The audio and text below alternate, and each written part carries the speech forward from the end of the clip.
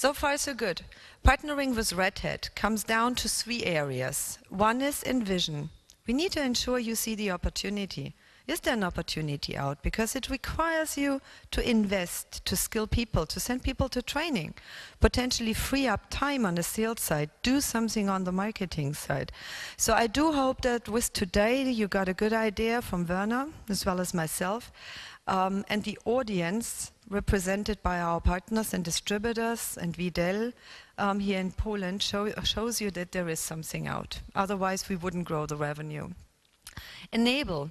Everything around enablement can be done hand in hand with our distributors as well as us. There's plenty of tools and trainings available to enable you and your teams, be it on the technical side, or be it on the sales side, on the pre-sales side, as well as on the operational and marketing side. So this is what we offer within our partner program. And then the execution. So yes, you accept open source being a driver within your business for the future. Great.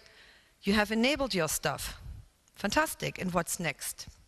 Well, you can call around to your customers, but you can also piggyback on activities we do in the market, leverage existing material, existing sales collaterals, white papers, any type of use cases which are relevant to your customer.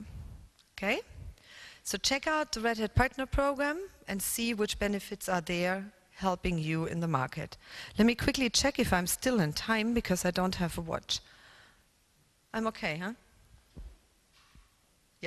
Okay, good, fine. So let's continue.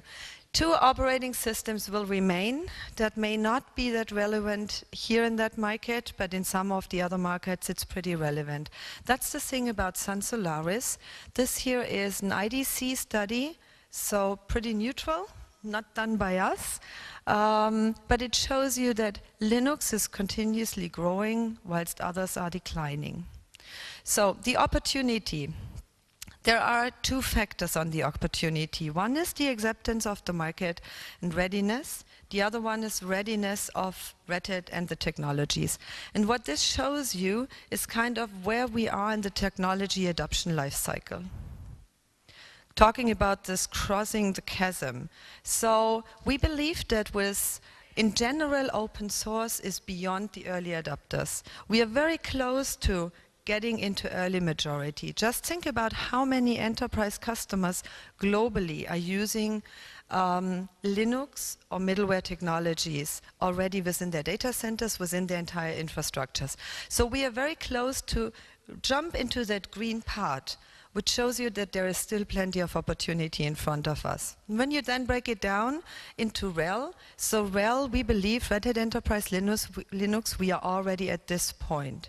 Acceptance in the enterprise, many, many, many hundred thousands of systems running on Red Hat Enterprise Linux, many large accounts stating that they continue to grow their entire infrastructure on RHEL. So for JBoss, this is still a little bit different. JBoss is not yet there. But JBoss is accepted in the developer community next to WebSphere and next to the Oracle equivalent. Thanks to Oracle, this is also opening opportunities because of their license policy. So that's another opportunity to review around middleware. Review the infrastructure of your customers. Do they want to migrate away from any Oracle BEA technology over to JBoss? Which is from a practice, from a consulting practice, not that difficult to be done. And we can help here with trainings. And now our latest kit on the block, RHEV, everything around virtualization.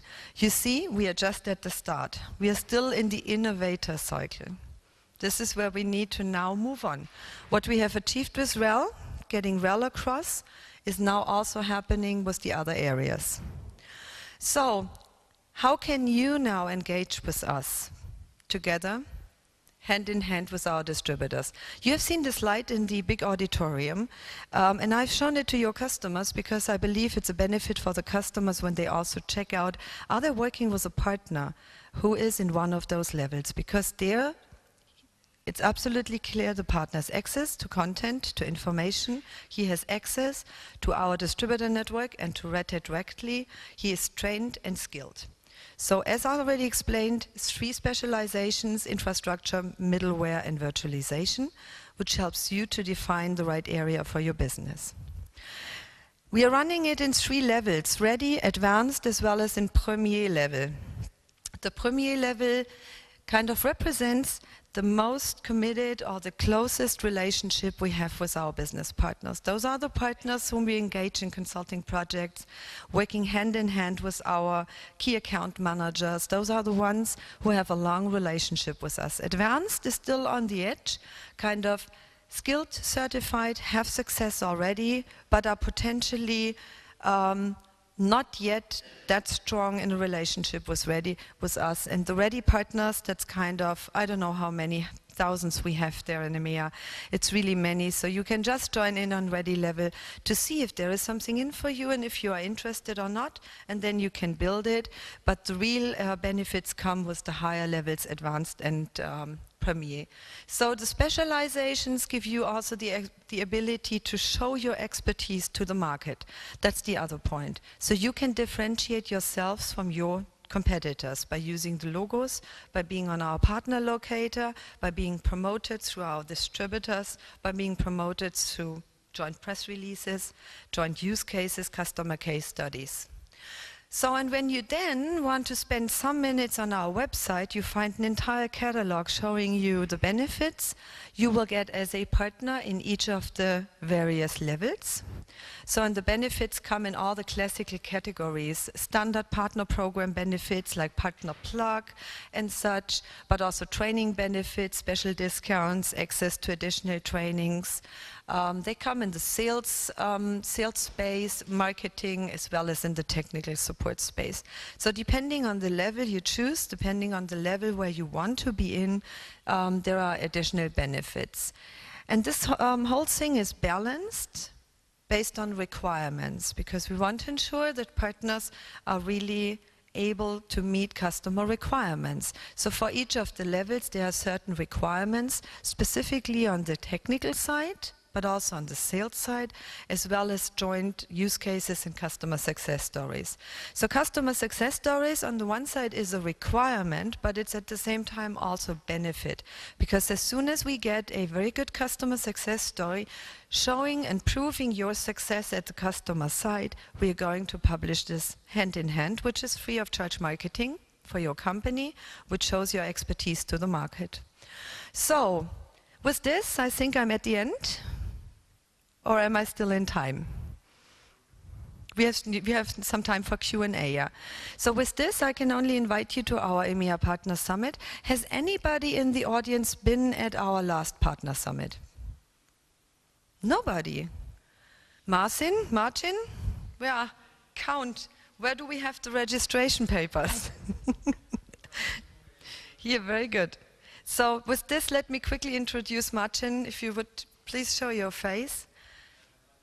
So Martin is one of our partner managers. Um, Martin is with Red Hat now since many years, and he is exclusively responsible for our partners in Eastern Europe.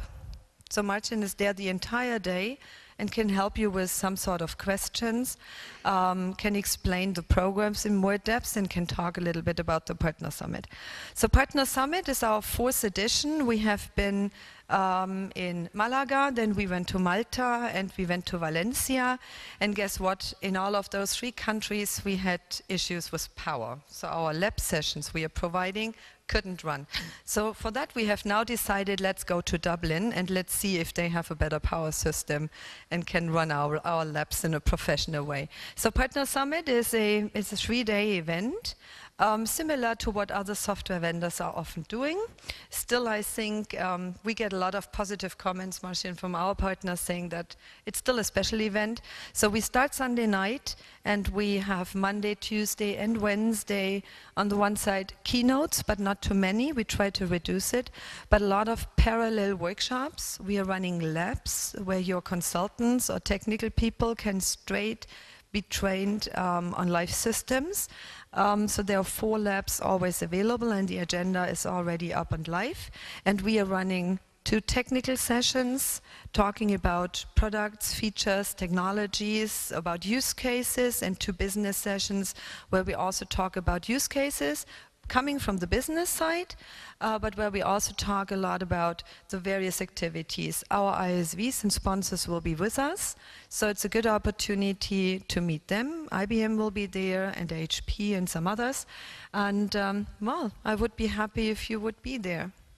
So with this, I'm more or less at the end, and we can open for some questions, if there are any.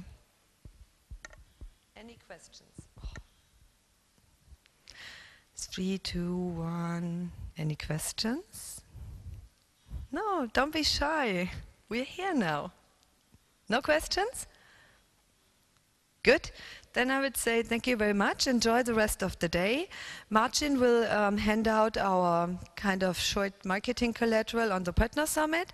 And then I invite you, spend some time with Martin later in the day. Um, we are going to leave within the next, I think, one hour. So Martin and also Vladimir, our second colleague, um, they are around to answer all of your questions. So thank you very much. Enjoy the day.